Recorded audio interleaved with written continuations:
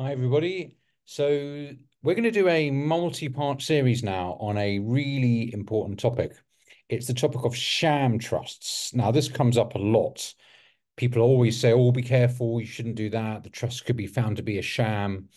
And people who administer trusts are terrified of their, their trusts that they run being found to be a sham.